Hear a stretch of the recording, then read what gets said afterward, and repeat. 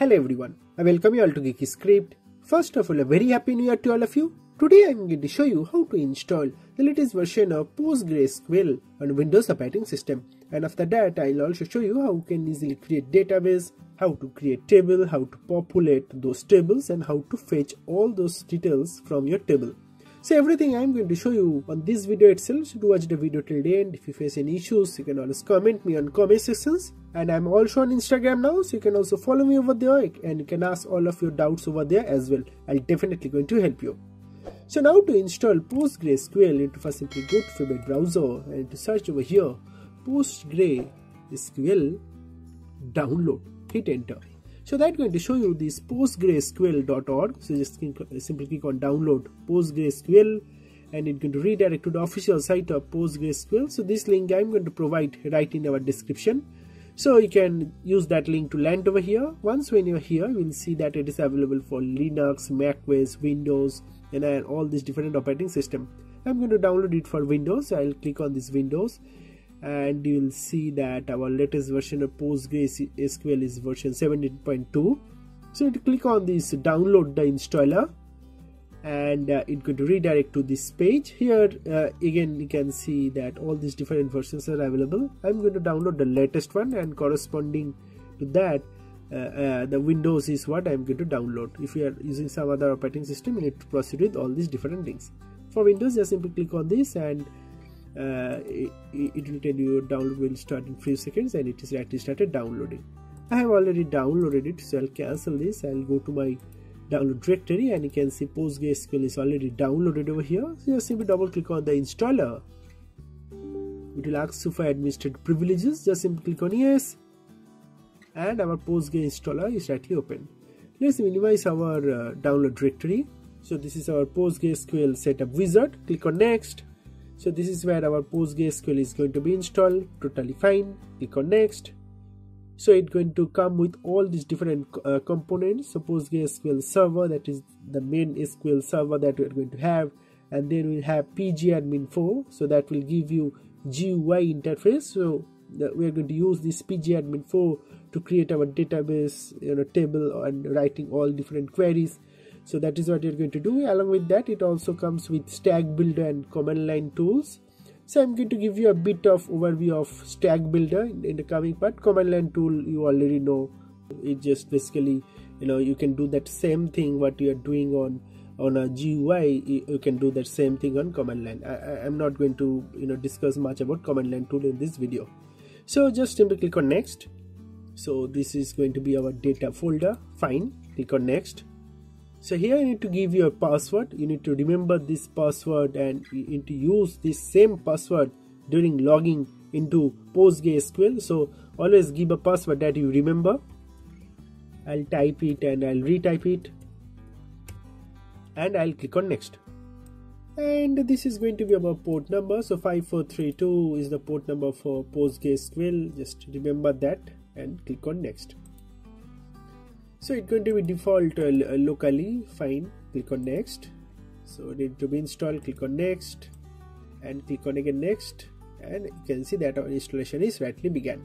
So it's going to take some time to install. So by the time it get installed i request you please to consider subscribing our channel geeky script along with geeky syntax channel. Here also regularly i'm posting lot of videos. So recently i posted videos like on react then net java wordpress especially wordpress uh, you have lot of detailed video about one hour video 30 minute video angular. So all these different videos you will get on this channel. So i recommend you please to also subscribe this channel. And also if you're interested you can also subscribe our geeky script vlogging channel. And on on our main channel geeky script here also regularly i'm posting lot of videos on wordpress. So detail one hour video you know so i'll recommend you to check all these different videos as well if you're interested here let's wait for some time. So we'll come back. And now you can clearly see that our PostgreSQL is rightly installed. It has also checked the stack builder. So let's quickly have a look uh, on stack builder. So click on finish. So that's going to launch our stack builder. So welcome to stack builder. Let's select uh, our postgre server. So postgresql version 17 server on port 5432 click on next so it's going to start downloading all application list and there you go. So under categories you can see all these different add-ons uh, database drivers servers and everything right? So what it does basically let's say you expand this uh, database server you, you, you already start seeing some of the drivers right? So like uh, uh, this is pg jdbc then psql odbc so all that so 32 bit 64 bit. So basically let's say uh, you have written some code on java on the front end side and you want to establish that connection with backend database. So for that you will need some drivers. So that's how you download drivers. So they uh, stack uh, so postgresql has developed a, a, a, application like stack builder. So using that you can you know download these different drivers. If you want to downgrade to some some of the older uh, PostgreSQL versions that also you can do. You have all this flexibility right? So you, you need to just simply check this and uh, you can proceed with all that. So you know that uh, pretty much all about stack builder. I, I, don't want to spend much more time over here so i'll cancel this. I'll uh, click on yes. So now that our postgresql is actually installed so i'll go to search and type pgadmin 4 so that's going to show you this pgadmin 4 over here. Open that. So pgadmin 4 is basically a gui interface where we are going to write some code on uh, sql and there you go. So let's uh, expand it. So this is the interface of, of uh, pgadmin 4 let's expand the servers. So immediately it's going to ask you to provide that password. Remember during installation we have given one password so that same password is what you need to type it over here. Uh, and also save that password so that you don't need to retype it again and again. Click on ok. So there you go. It is rightly established that connection. And you can see uh, all uh, these databases over here right? So if you expand this you will get the default database that comes that is postgres itself. So let's create a new database. So click on this database right click and hover over create and uh, click on database. So that will open this create database window. Let's give a database name as let's say chess and i'm going to click on save. So that going to immediately start creating one database called chess you can see it is created. So if we expand schemas over here you will get all these different stuffs right? So aggregates then you know uh, these materialized views functions procedures sequence triggers tables everything right? So basically uh, let's start with creating a table first. So here is our table. So select tables and right click and click on this query tool. So that's going to open a query window over here. So let's write a simple create statement. So create table. Let's give the table name as players and uh, let's have a couple of column called id as integer type and uh, first name as a varchar